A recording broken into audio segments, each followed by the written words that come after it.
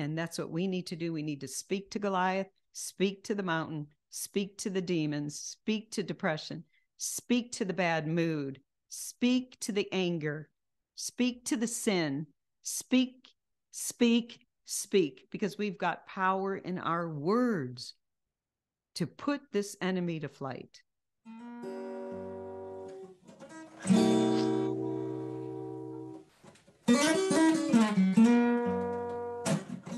To speak to you on the power of our words. And I've spoken on this before often because, and the reason is our words are so incredibly powerful.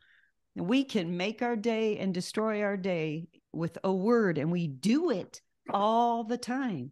Some of us do it all day long. Our words are either medicine or poison. Which one? We are poisoning our minds, we're poisoning our bodies, we're poisoning our health all day long by the words because the word is medicine. It's either good medicine or bad medicine. What's that? Uh, Proverbs 18. Life and death are in the power of the tongue. And we are going to eat, it goes on to say, and we will eat the fruit of one or the other. So we literally eat the fruit of our very own lips. Life, it says, the Bible says, life and death. That's Proverbs 18. Life and death are in the power of the tongue. So we are literally speaking over ourselves and over our families, life or death. We have to choose. We have to now be, now we're going to be different. We're going to know. I'm, am I speaking life or am I speaking death? Because we're constantly saying things. We're constantly saying the wrong things. And, you know, I, I, I, there are some declarations that we can make over our lives. Sometimes we refuse to say them because it's not that we don't see it as the truth. Well, I can't just say I'm well if I'm not well, but we say I'm sick all day, all the time. We can, we aren't afraid to say I'm sick, I'm dying, I don't feel good, um, because those words elicit something that's going to help us. They they elicit um, pity or they elicit somebody to understand, but they're not helpful. They're actually very, very harmful. So, what I'm going to do today is to get us off of those words and onto the word of God and, and what words to start declaring. Now, I've taught this before because God's word is powerful, that Jesus is the word of God, that Jesus's words are powerful, that remember I, I and I, you may not so i'm going to just briefly go over this. God's word is powerful we know that. He made heaven and earth with a word. I'm not going to go into the that teaching but god made heaven and earth and everything in it by a word. Now jesus also has the power of the word. Jesus is the word. Jesus is the word of god made flesh. And then when the centurion and this is what the Bible says in Psalm 107 it says, He sent forth, this is God, God sent forth His word and healed them. Well, Jesus is the word He sent, and He sent forth Jesus to heal. And the centurion recognized that in Jesus. So when the centurion, so the centurion said, Hey, I'm not worthy that you should even come under my roof. Just say the word, and my servant will be healed. The centurion's servant was desperately in need of he was paralyzed and in great agony, it said. And Jesus said, just Jesus said, um, Oh, I I'll come. I'll come and heal him. And, and he said, No, I'm not worthy to have you enter under my roof. Just say the word, and my servant will be healed. And Jesus was amazed at his faith because he was amazed because he realized that this man recognized him as the word of God. He recognized him as God, that he could just speak. No one else can speak something into, into existence. Nobody else can speak to the wind and the waves.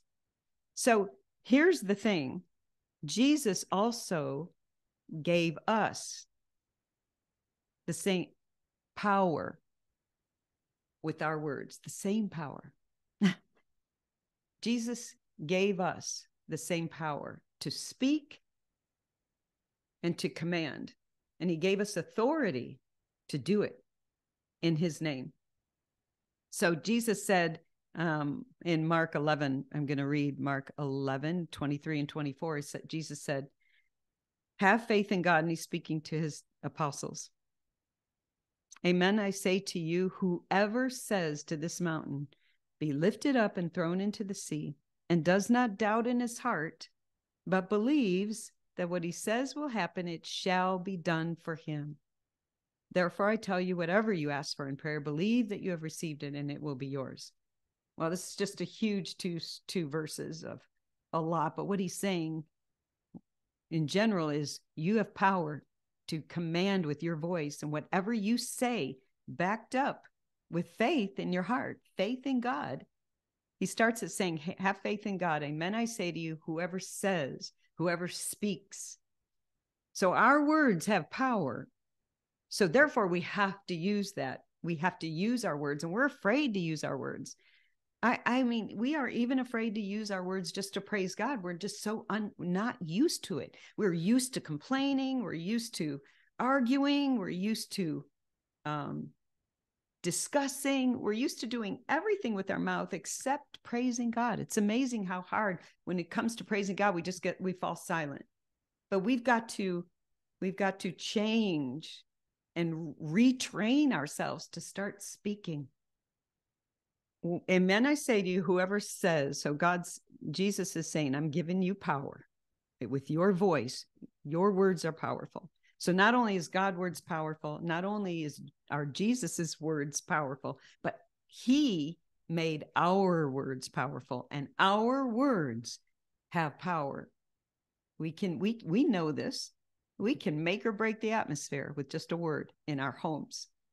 We can kill destroy somebody's mood, somebody's confidence with just a word. We have power.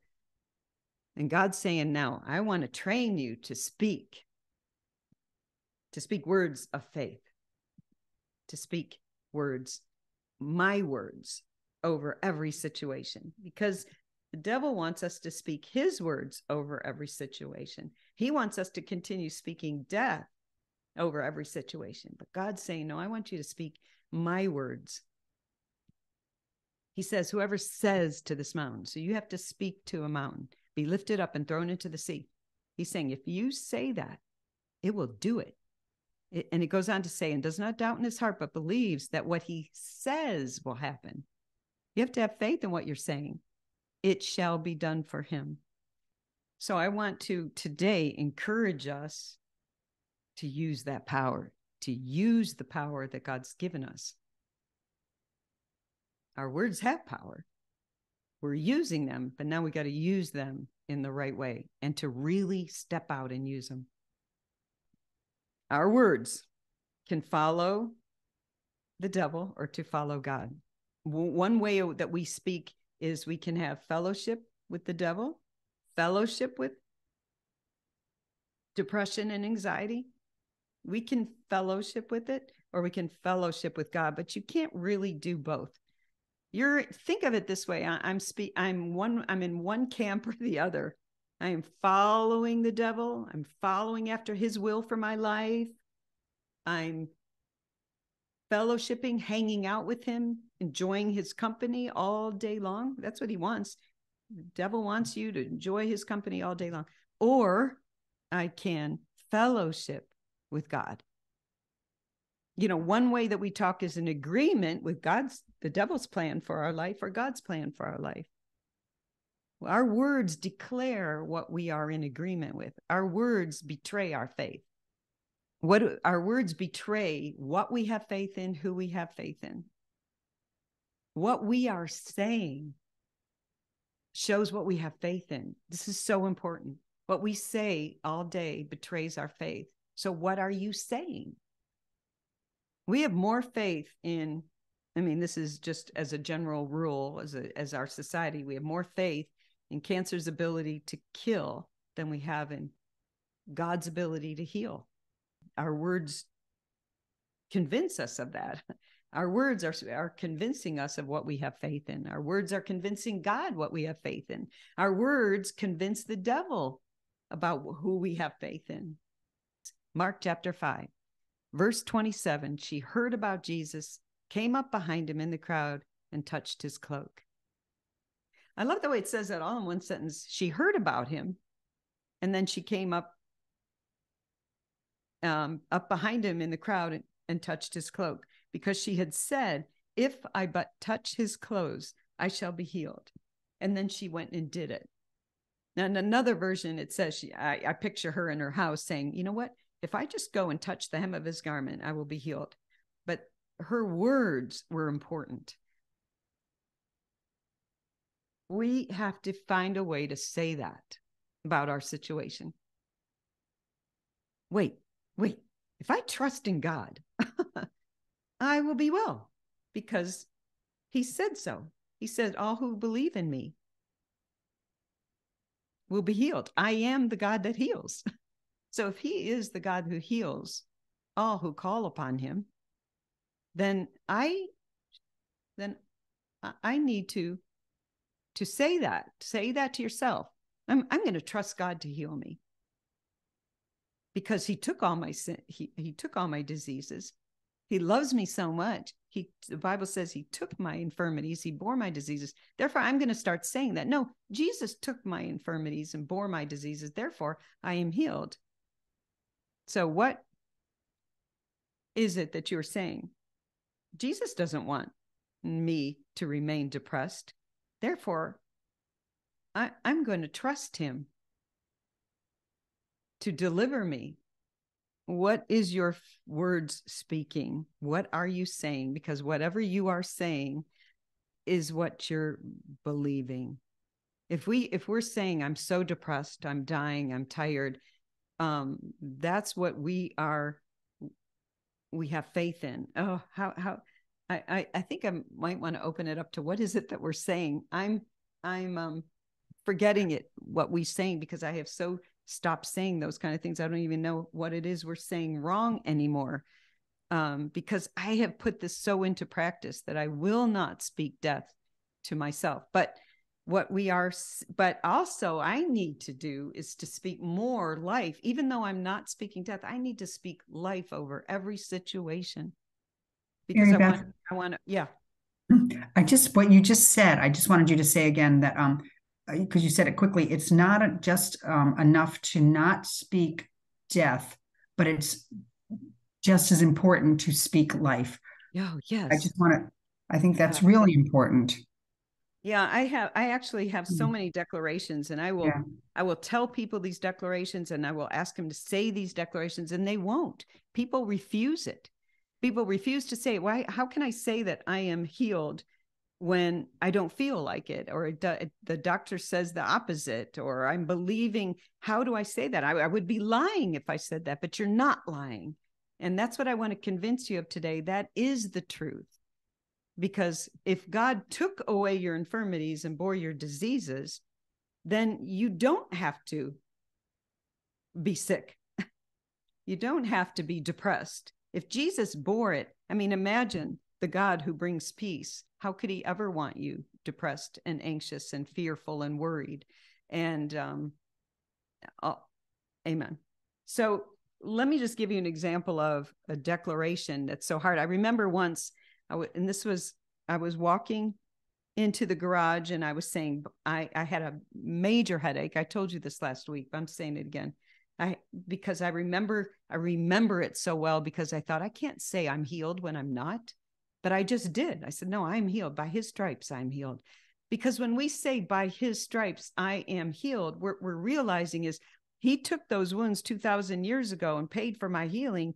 Therefore, that healing is mine. So, therefore, I am healed. Why am I healed? Because he healed me. I'm not healed because I'm I'm healing myself or I'm looking forward to being healed. I'm healed because he decided to heal me a long time ago. I'm just I'm I'm so blessed that I am healed, but I have to accept that as the truth, not the pain in my head. And I remember saying it even though I didn't want to say it because it felt weird to me to say it. And I said, I am healed. And it's really hard to say because I can say, I can pray to be healed. Lord, heal me. But if I say I am healed, I'm I'm that's where faith comes in. Remember Jesus said, whatever you say to this mountain, get up and so if I say to this headache, get up and move and go throw yourself into the sea and do not doubt, but believe that what I say will happen, it shall be done for me. But God goes on to say, Jesus goes on to say, therefore, whatever you ask for in prayer, believe that you have received it and it will be yours. Well, I have to believe that what Jesus did for me was real. So when I'm walking and I'm declaring it, I'm really putting my faith in when I say I am healed. I'm saying, no, I believe more in what he did than this pain in my head or or anything else. I remember a doctor was going I had such bad migraines that the doctor gave me medicine. I quit taking the medicine because it just did weird things to me. So I quit taking it. And then she wanted to put me on a permanent like forever medicine that will forever take away my headache. Thankfully, I never did it because. So basically, what I'm saying is, I can have faith in these medicines that have so many side effects that will keep me addicted for the rest of my life or I can have faith in what he did. So basically, when I say I am healed, so I'm walking to the garage and I'm saying it. I'm just I'm just saying it in faith. I am healed by his stripes. I am healed. I took the step into the garage and my headache was gone. And I remember God teaching me that my words are so important. Um, my husband and I will never say to each other, we've just gotten to this point where we will never say, that we are sick. And even though we want the, uh, if I want him to know I'm sick, I'll say, by his stripes, I'm healed. It's really a, a funny way of saying, I don't want you to know that I'm sick, but I'm going to tell you I'm sick by saying, by his stripes, I'm healed, which is, is really wrong. Um, but what I really need to do is say, no, I'm not going to receive your pity because really I just want him to feel sorry for me. I want him to cook dinner. I want him to do my chores for me this day. I want him to allow me just to lay down all day and be in bed all day. When I say I by his when I say I don't feel good, I'm sick, I'm I'm fearful. What I want is for him to rescue me, but I've already been rescued. I need to count on this rescue because I'm not going to be able to count on my husband rescuing me. It's a false rescue.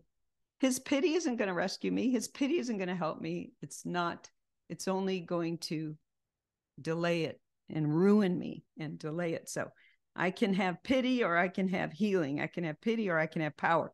But it's our words that I'm that are so powerful. So I want to quickly go into David and Goliath because David really shows off the power of words so awesomely.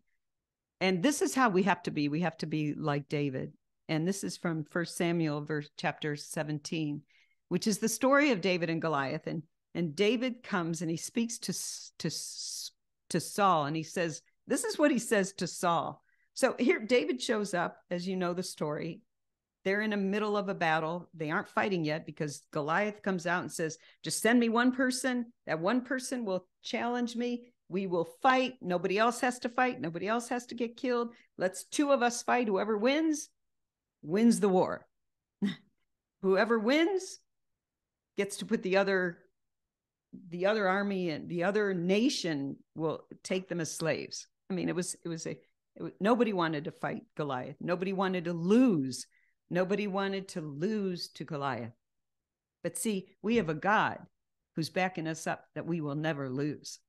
And only David knew that. Only David knew who his God was, that he had that he had God backing him up. And we have to know that we have God. So this is what he said. These are the words that came out of his mouth. He said, Oh, my Lord, don't lose heart.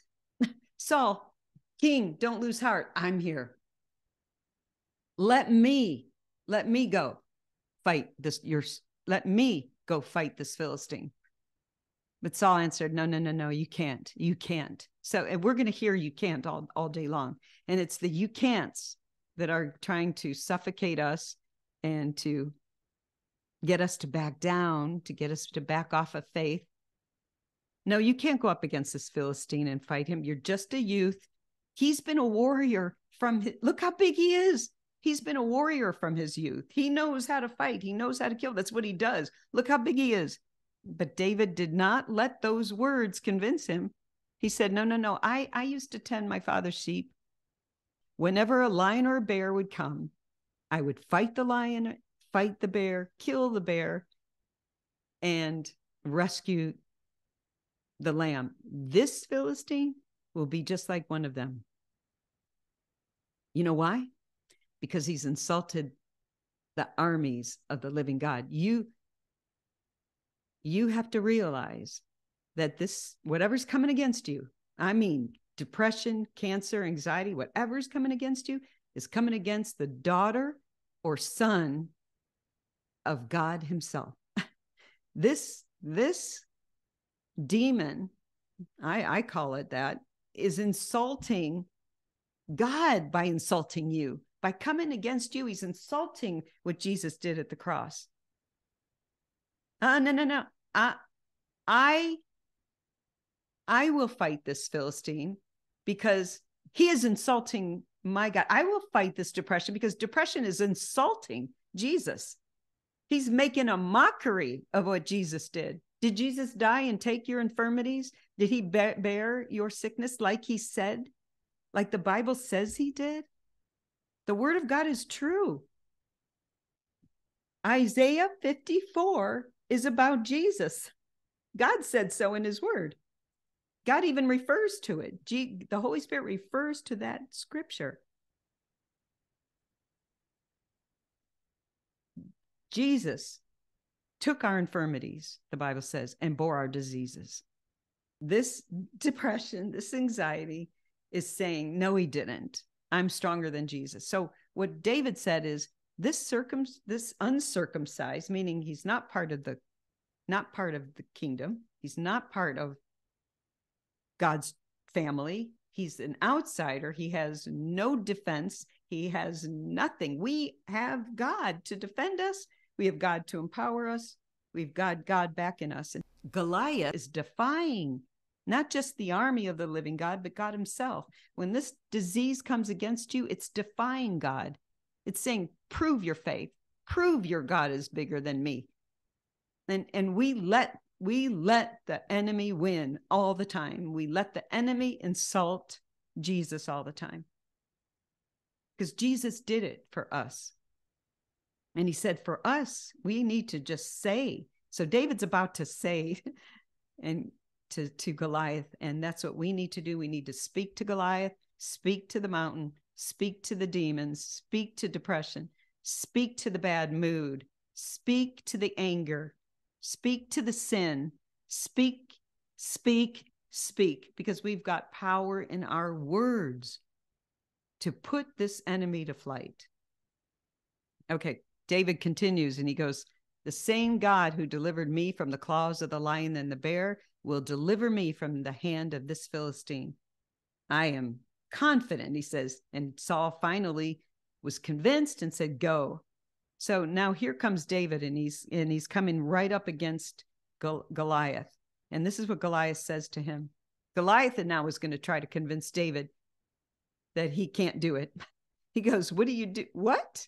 Am I a dog that you come at me with a stone? You come against me with your staff? The Philistine cursed David right in front of him. But see, David let those words go one in one ear and right out the other. He he wasn't he wasn't fazed by those words. We are fazed by what the doctor says. We are fazed by what the the the the devil is speaking to our mind all day long. We are fazed, but David wasn't fazed. It didn't faze him one bit. He said, Am I a dog that you come against me with a staff? Then David cur- then the Philistine cursed David by his gods and said to him, Come here, and I'm going to feed your flesh to the birds of the air and the beasts of the field. That's what Goliath said. I, am going to kill you and I'm going to feed your flesh. I'm going to feed you to the birds. I'm going to feed you to the beasts of the field. David, that didn't, he wasn't intimidated. We're so easily intimidated, but he was not intimidated. Why? Because he knew who his God was, he knew who was defending him. No one else, this is what surprises me, but not one other person in the whole army believed like David. Nobody. The whole army was afraid of Goliath. The whole army. So David starts to speak. Now David's going to speak, and this is how we have to speak. You come against me with what? A sword, a spear, a scimitar. Huh. But I come against you in the name of the Lord of hosts, the God of the armies of Israel, whom you have insulted. It's it's the God that he's insulting. It's your God that that these this sickness is insulting. It's not just you, it's God. He wants to destroy God's God's power, God's word. The devil's always out to kill any in any influence God has in our lives. All right. So this is what he says. He goes on to say, today, now he's talking very much faith. Today, the Lord will deliver you into my hand. I will strike you down. I will cut off your head. He hadn't done a thing yet. He just knows what he's going to do. Today, the Lord shall deliver you into my hand. We need to say this. Today, I will strike you down and cut off your head. This very day, this very day, I will feed your dead body and the dead bodies of the entire Philistine army to the birds of the air and the beasts of the field. This little boy is saying that. Today, not only do you die, Goliath, but you all. You all, it's over. Today, it's over. I'm here. That's what we have to say. It's over. I'm here. all this multitude too shall learn that it is by the it is not by the sword or the spear that the Lord saves, for the battle belongs to the Lord, who shall deliver you into my hands. God, God David is saying not only Everyone's going to know about this. Everyone will know that God saves. And it's about time that everyone in your family knows that's that's what we're here for. We're not here just to save ourselves, but to save everyone in our family. Everyone will know what a God we have. And we get to pass down this new testimony, not the testimony that I suffered with allergies my whole life or I suffered with uh, anxiety my whole life, or I suffered with uh, arthritis my whole life. I I know every problem my my grandparents had because my grandmother had because that was it, it, we talked about it all the time, and she talked about it. I knew her problems, but you know what? Our kids, our children, the what what are we passing down? We're passing down the victory. Everyone's going to know what a great God we serve. And it starts with us starting to say it. Say it before it happens. Say, you know what? Now I know that's what the doctor says, but guess what? I'm trusting. I'm not, I'm trusting God to heal me. I'm trusting that I am healed, that this is that that God has healed me. He has already healed me. He's already written his prescription and filled it. His blood is running through my veins. His power is living in me to cleanse me of all, every evil, every rogue, every bad cell, every, every um, sick cell in me is being washed by the blood of Jesus that's flowing over me, cleansing me. The word of God is like a water that cleanses us. Imagine if we took that medicine. Imagine if we just spoke the word out loud every four hours for our medicine. Spoke it out loud. Let our let our ears hear it. Let the let the disease that's in us hear that word and flee from our bodies. We've got to make that decision. And our words really show what we believe in faith has to be released. You know we we not only have to have faith but we have to release our faith and it's released by our words and by our actions. Um, let me just read a few of these and then i'm done. Um, declarations of things to say. Um, i'm just going to read a few of them i am i am the lord who heals you god says. Father you are the lord who heals me we need to be saying, Lord, you are the Lord who heals me because your word says so. So therefore, I can confidently say, Father, you are the Lord that heals me. My God fights for me against this disease and brings me victory. My God is fighting for me against this disease and bringing me victory. My God is fighting for me. I will not fear. I am strong and steadfast. I have no fear because God is with me. I am filled with faith because my Father is removing all sickness from me. God has sent forth his word and healed me. My God fills my days with good things. My youth is renewed. The Bible says he took our infirmities and bore our diseases. So therefore, I can say Jesus took my infirmities and bore my diseases. And I have to actually say that out loud and act like it. Start living. Start living like you really believe it, like like it's true, like his word is true. By his stripes I am healed. Jesus forgives all my sins, heals all my diseases. Arthritis? Mm-mm.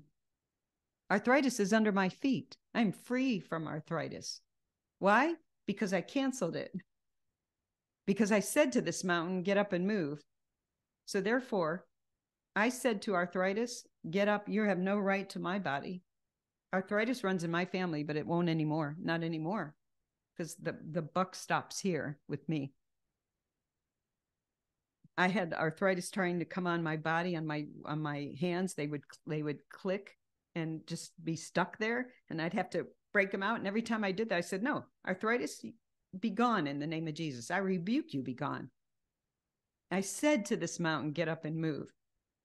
Therefore, I can I can declare, no, I don't have arthritis. Amen. I want to, if we have time right now, to read another scripture verse together, and it's in Numbers chapter 14. And it's so, so important for us to read this together so if we want to turn to uh, Numbers chapter 14, I believe. But I just want to start with uh, uh, Numbers 13, verse 25. And let's read it together. After reconnoitering the land for 40 days, they returned, met Moses and Aaron and the whole community of the Israelites in the desert of Paran at Kadesh and made a report to them all and showed them the fruit of the country. They told Moses, We went into the land to which you sent us. It does indeed flow with milk and honey, and here is its fruit. However, the people who are living in the land are fierce, and the towns are fortified and very strong. Besides, we saw descendants of the Anakim there. Amalekites live in the region of the Negev, the Hittites the Jebusites and the Amorites live in the highlands, and the Canaanites along the seacoast and the banks of the Jordan.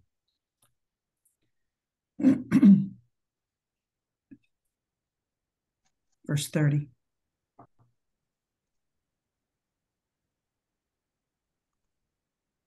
Anyone else want to read? Caleb silenced the people before Moses and said, Let us go up at once and possess it for we are able to overcome it. But the men that went up with him said, We are not able to go up against the people because they are stronger than we. They gave the children of Israel a bad report of the land which had which which they had spied out, saying, The land through which we have gone as spies is a land that devours its inhabitants, and all the people whom we saw in it are men of great stature. And there was, and there we saw the giants, the son of Anak, which come from which come from the giants. And in our eyes, we are, we were like grasshoppers, and so we were in their eyes. So here they are, God saying, This is the land I promised you. I saved you from Egypt to give you this land. This is the land. This is the land I promised you and he says, "Go check out the land." And they checked it out. They actually carried a, a grape cluster together, two grown men on a pole because it was that heavy. One cluster of grapes. It was that big. And they said, "Wow, the land is great, but it can't be. We can't take this land because it's filled with giants. It's it's too big. It's too big for us." And they said, "We felt like we were grasshoppers, and so we must have seemed to them."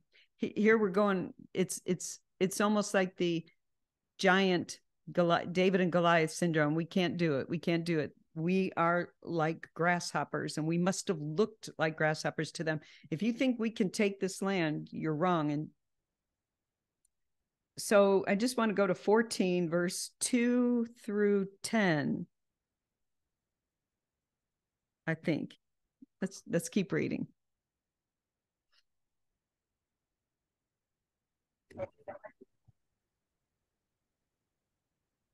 Mom, do you want to read? I don't know if you have a microphone. No? Anyone? I can. Go ahead, Maria. 14 1, right? Start with one. Then all the people began weeping aloud, and they carried on all night. Their voices rose in a great chorus of complaint against Moses and Aaron.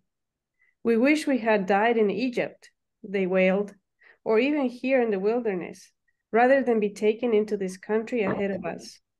Jehovah will kill us there, and our wives and little ones will become slaves. Let us get out of here and return to Egypt. The idea swept the camp. Let's elect a leader to take us back to Egypt, they shouted. Things going up, so it's, it's just, you know. No hard opinion. Mm, Hold on, doing I can't find who's talking. Um, just a second. No hard opinion, no hard. But Yeah, you should get tired, but it's I think it's Samantha. Okay, found it. Sorry, Maria. Go ahead. No problem. Do you want me to stop there or continue? Yeah. Yeah, we could stop for a minute. Let us appoint a leader and go back to Egypt. We want to go back to slavery. We don't want to trust you to bring us into the land you promised us.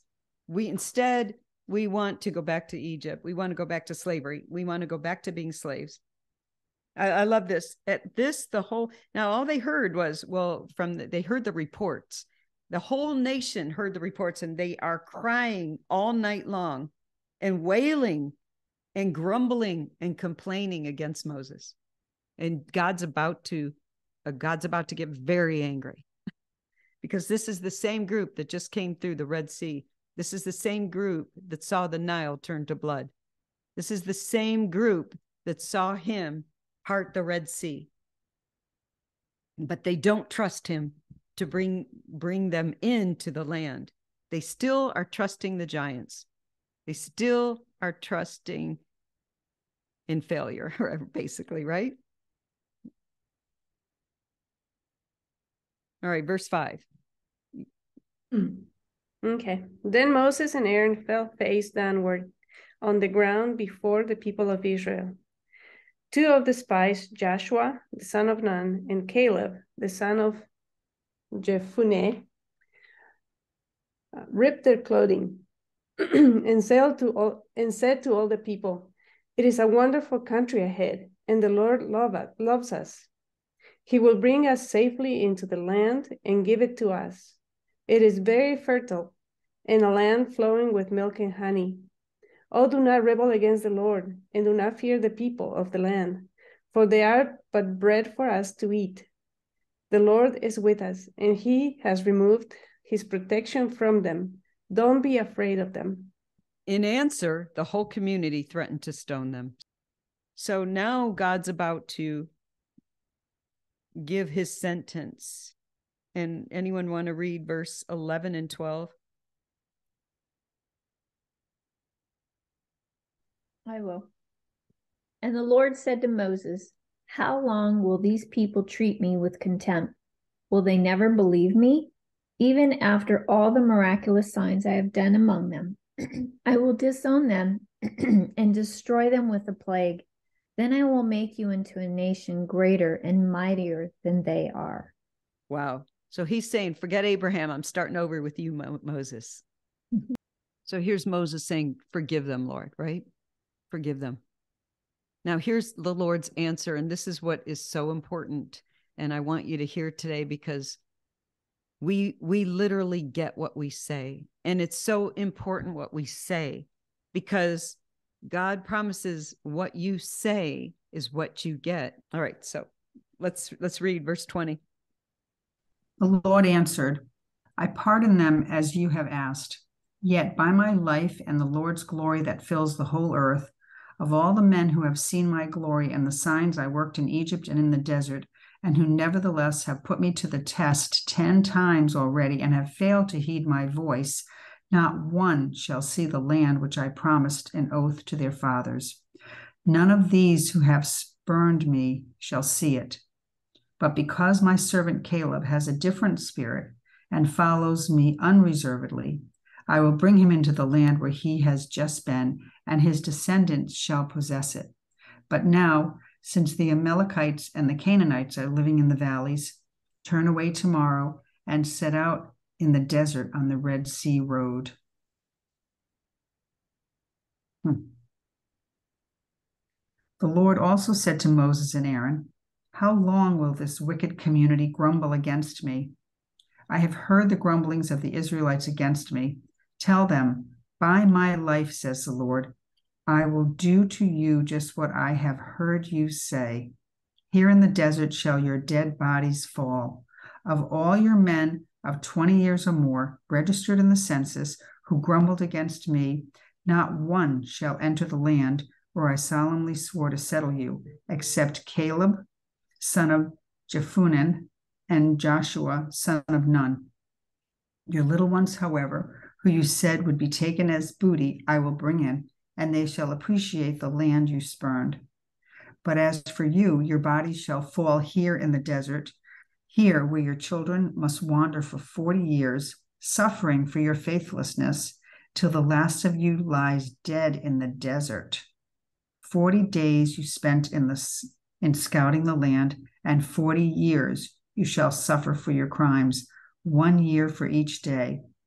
Thus you will realize what it means to oppose me. I, the Lord, have sworn to do this to all this wicked community that conspired against me. Here in the desert they shall die to the last man. Amen. I Mm. just want to to bring up by my life says the Lord, I will do to you verse 28 just what I have heard you say. Yeah. You know, their complaining was what they were saying. I want to go back to Egypt. You want to go back to slavery? You want to go back? They said, We're going to die. We're going to die. And he says, If that's that's the way you're talking, I'm going to die. You're going to die. You're going to get what you say. He said, By my life, says the Lord, I will do to you just what I have heard you say. Here in the desert shall your bodies fall. Uh, We our complaining is um is an, an affront is a is against God. and we like to do it. We, we we're just we're just habitual complainers, so we have to realize that in your book, Mary Beth, in your book doesn't say um, complaining or worrying is a lack of faith. it is. I think I got that. I've got something, one of those highlighted, but that because my husband started off saying something like, "Well, we don't know what's going to happen in the future. We might." I'm saying, "No, we don't. No, the Lord's got us. We're taking care of. You know." He started this kind of like, "Well, you never can tell," and I'm like, "No, we can't. It's going to be good." yeah, we can. it is so true. It is so true. Oh, that's said- so good. No, I said, don't even talk, don't talk like that. Don't start the conversation. Right. Mhm. Change your words. Change the conversation. Change your words because your words are killing you. Our words are killing us. Amen. Because we're believing that we're just um, thrown into the wind and whatever happens, happens. And what you're saying, Bitsy, is no, we do know what, what the future is. The future is good and we're in good hands. He's got a future for us and it's a future full of hope. So we have a hopeful future, not a come what may. We're not we're not just driven to and fro. We are in God's hands. We are God's children. He's got us. I um I really feel like I wanted to and since I just decided to teach this this morning I didn't really get a chance to. I want to write out I I would like to do this with every single one of you write out your own scenario. What is it that you need to say? Because we're saying what the devil wants us to say, honestly, about our situation. And, you know, Bitsy's nailed it. I, I think by what you're saying, Bitsy, you're not about, you've come to that place where no, I'm not going to say what the devil wants me to say. I'm not, even if it makes me, even if it makes you feel good. Mhm. you want me to agree with you. I know you want me to agree with you, but if I Mhm. agree with you, we'll both be wrong. I can't just agree with your negative outlook because if I do to make you feel good, like I'm in agreement with you, we'll both be wrong and we're both going down. One of us has to say, no, we have to be willing to speak. No, it's not the truth. The truth is, we're in good hands. The truth is, we have we have power to command even the wind and the waves and the storms. We really, we really do. We're just not acting in it. I even tell people this is funny, change the tone of your voice. Sometimes I'll be praying with somebody and I'm like, well, the whine is still in your voice. You're still whining.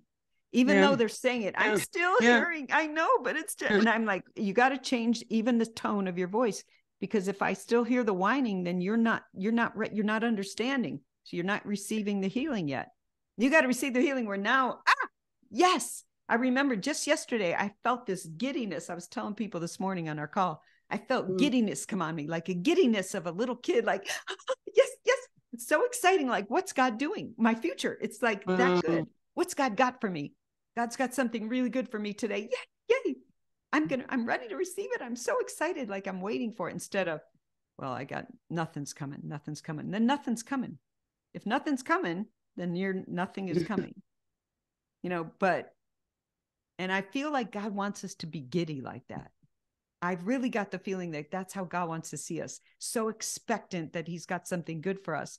Not like these these not like that. He put them 40 years in the desert until every single one of them who complained against him died. Mhm. They were not going to see the promised land. Yikes. Yikes. When they were all dead, he opened up the promised land and they get, they got it. And they took it. Yeah, wow. Yeah. They had to pay and all their children had to pay that. that All their children had to suffer them with them because of their lack of faith Faith. in him. And and and I'm not saying that God expects us to have yes, he does expect us to have faith, but he he's a lot easier with us than them because they saw the Red Sea. They he parted the Red Sea and they walked between the mm-hmm. Bible says between two solid walls of water. I mean, it says it in there. They walked between the walls of water. It, that had to be pretty incredible. They saw the entire. he came that we might mm-hmm. have life and have it abundant. The devil comes to kill, steal, and destroy. So whatever's coming in your life to kill, steal, and destroy, it's not of God. He's the devil came that we might have life and have it abundant. Hmm. That's it. I'm not saying everything's going to be rosy and everything's going to be No, great, no. but I am saying that everything's going to be rosy and everything's going to be. I, I hmm. don't know. I I'm I'm believing that. Maybe I'm wrong. Don't wake me up. Maybe I'm just dreaming. No. But you know what? I trust that God has good things in store for me no matter what. So I may go through some rough times, but those rough times are only to get me to my next higher level. You know what I mean? If I'm going through a rough patch or a dark time, or or, or I mean, I don't I don't go through dark times. Mm. Uh, There is something out there called the dark night. That is hope a bunch of crap. There's Mm. not no such thing as this dark night that we have to go through. No, we're never without him. We are the light of the world. And Mhm. I guess what I'm saying is what whatever we are going through, it's it's only there to get us to the next level. Or it's there because we are still believing demons. That's one or the other. So you've got to know the truth. The Bible says that our the people know his voice, right? If we know his voice, then we know what's true and what's not true. We know what's of the devil and what's not. If my sheep will know my voice, you know, what we say about our children is so important. I mean, this is for every area, not just for your health, but what we say about our future, about our finances, what we Mm. speak over our lives are very important. Oh, you're I'm never going to make it. We can't say those kind of things. This is horrible. Everything is looking I mean, what's Yeah, I- what's a bad what's an example of a bad thing? Um we can't speak. I never- I am not allowed. I will not allow myself to speak negatively about my children, even to myself, even mm. alone. I will Wow. declare the goodness of the Lord over my children, my children. And I have declarations that I speak over them all the time. I declare they are wise. Mm-hmm. And and every single one of my children, I started declaring my children are wise a long time ago. I said they are wise, they are thoughtful, they are um they are helpful, they are um smart, they are leaders, they are um diligent, they are organized. I would speak those things over my I would never say my children are lazy, my children are so unorganized. I never to to anyone. Uh, I do not speak those words over anyone about my children. I only speak Mm-hmm. um, good things. I only speak what I what I'm giving to the Lord. So in other words, first I had to pray those. Lord, I'm praying that you, you know, bring my children into all this, and then I would start um, declaring it as if it's done, as if God's doing it. And really, my declaration is such an act of faith. I, I have faith that you're making them wise. Both three of my children are wiser than me. I can say that honestly. Not I'm not declaring that. I'm saying that honestly now. Every single one of my children, I trust myself in their hands more than I trust myself in my own hands. Yeah. That's how wise they are. My And Mary Beth, I think that goes back to years ago. Years ago, you started with that problem, prayer, and proclaim. You know, write out your problem, write your prayer, and then proclaim what God is doing. And then Right. once you get to the proclaim, stay there. Stay that's there. me, right. That's me. Just Don't That's go what I back to the problem. Yeah. Never go back to the it's a it's a learn, it's a maturity, it's a learning, it's a discipline. it's a discipline. it's a great discipline and i want it i should do we've done it before. You you've got your problem you write it out. Then you write out your prayer regarding your problem. So every single problem has a corresponding prayer and then every prayer has a corresponding declaration and the declaration is praying the prayer done.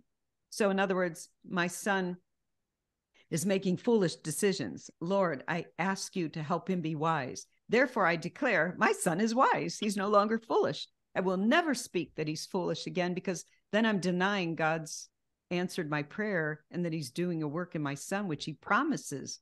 He promises, I will not let your children turn to the right or to the left. I will call them back. So do you still pray that prayer? No, Or do you, never. you just do the declaration? I don't.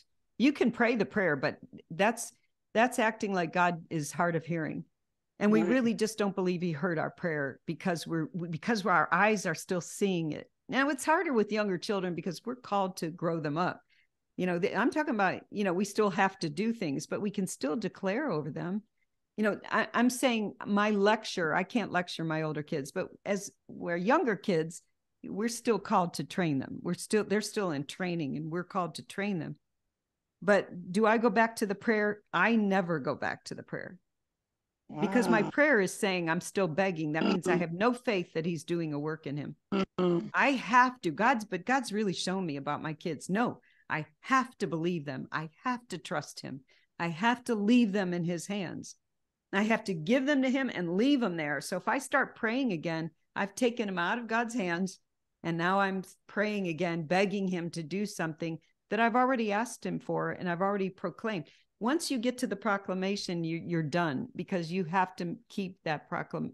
I just keep proclaiming it over my kids and it's constantly changing. I have to keep changing those declarations that I have to believe that God's doing his work in them, that they don't need to hear it from me.